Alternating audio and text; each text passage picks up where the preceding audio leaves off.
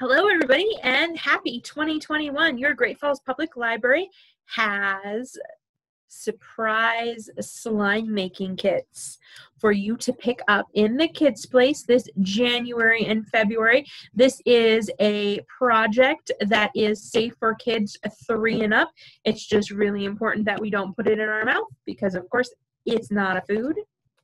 The kits look like this and they have everything that you need to make two batches of this surprise color glitter slime, as well as the jars to store your slime in. So before we get started, I do want to warn you expert slime makers out there that this is a very basic slime. So feel free to pick up the kits and to use it in your favorite slime recipe. The reason we chose this slime recipe is because it uses boric acid from contact solution as the activator. And so we don't have to mess with anything that might be harsh on our hands.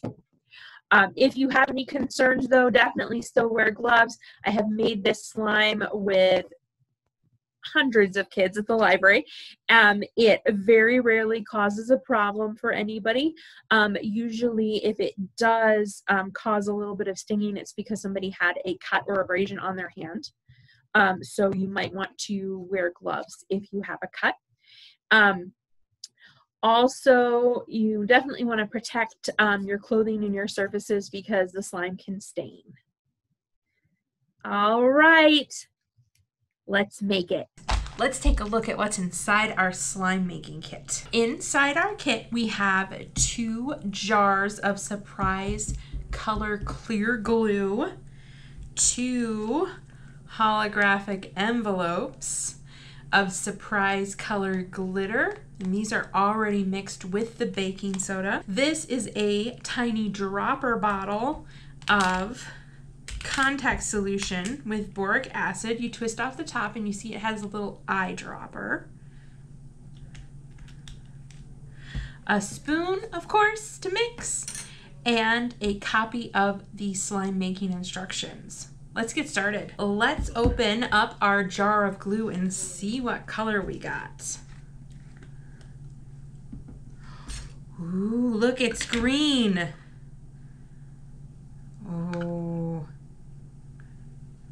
If you're making your slime without a slime kit, this is just clear PVA glue like Elmer's or a generic um, with some food coloring added. And this is a quarter cup in the little blue jar and it, it will serve for our mixing and also for storing our slime.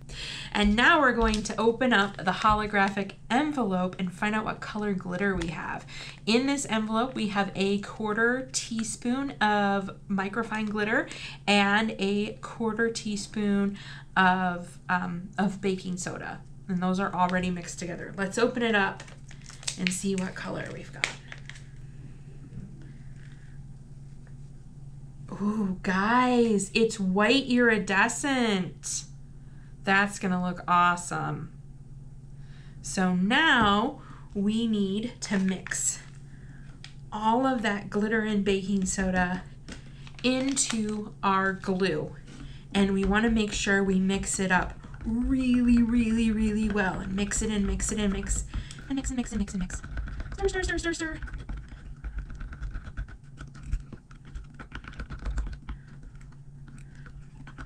Great, now that our glue is all mixed up with that glitter and the baking soda, let's add our contact solution. This is contact solution with, um, with boric acid. Um, and this little bottle is actually enough for three batches of slime this size. So we are going to put one teaspoon of this contact solution in here. So that's a third of the bottle and you can count to 100 because it's about 100 drops. Here we go.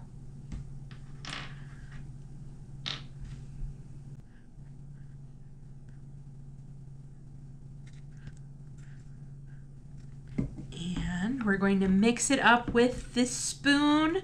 Look, it's getting slimy. It's coming together.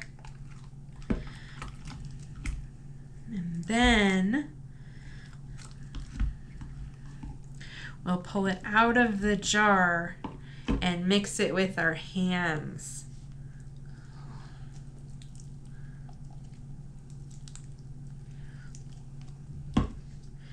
So mine is still a little bit sticky, so I'm going to add a little bit more contact solution. And there we go, it's getting less sticky.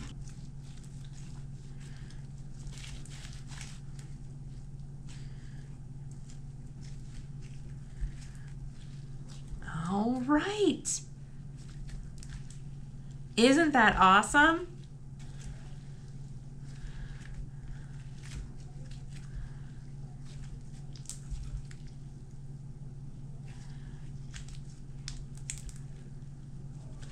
And that is how you make surprise color glitter slime.